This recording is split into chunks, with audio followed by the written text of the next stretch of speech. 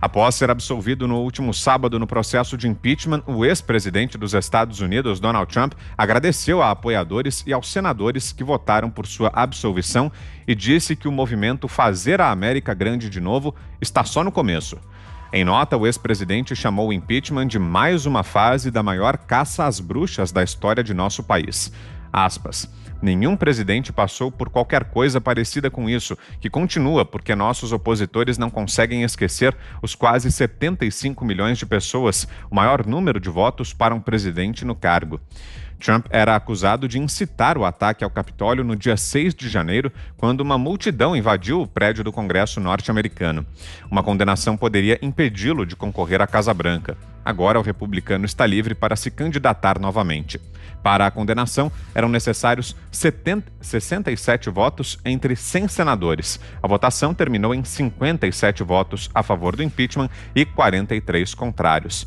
E aí, Ana, como é que foi essa votação? Você já tinha antecipado, né? Dificilmente aconteceria, e aí, confirmadas as expectativas no sábado, né?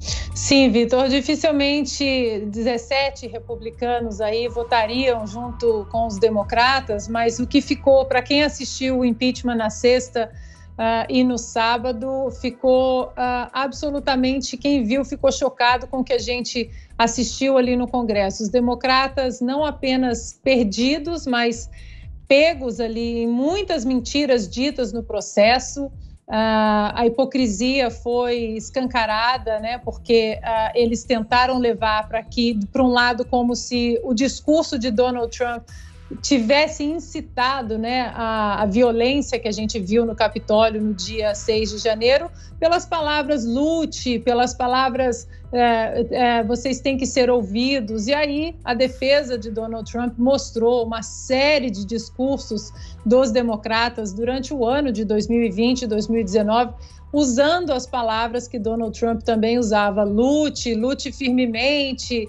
e, além disso, a gente viu também uh, uma troca, uma, uma, uma, vontade de trocar as regras do jogo no meio do jogo. Uh, foi, então, uh, declarado ali que testemunhas não seriam chamadas, e quando os democratas perceberam que o impeachment realmente escancarou a hipocrisia e o duplo padrão de julgamento de discursos políticos, eles quiseram, então, chamar testemunhas, mas, Vitor eles queriam chamar uma testemunha apenas e também só o lado democrata. Os republicanos então falaram: bom, nós vamos lutar. Se vai chamar testemunhas antes da votação, aí nós vamos chamar mais de 100 testemunhas. E essa declaração do time legal de Donald Trump trouxe aí um verdadeiro pavor, porque você chamar mais de 100 testemunhas, esse processo se estenderia aí por meses dentro de uma pandemia histórica e uh, ele, curto do jeito que foi, já desagradou eleitores democratas, imagina aí arrastado por meses. De Donald Trump, que estava então em silêncio desde que Joe Biden é, assumiu aí a Casa Branca, disse que ele vai continuar envolvido na política e pelo visto, Vitor, o que a gente vai ver hoje mesmo, Nancy Pelosi já quer chamar uma comissão especial para estudar a inteligência do dia 6 de janeiro pelo visto, mesmo com a presidência, a Câmara e o Senado, o assunto favorito dos democratas vai continuar sendo Donald Trump.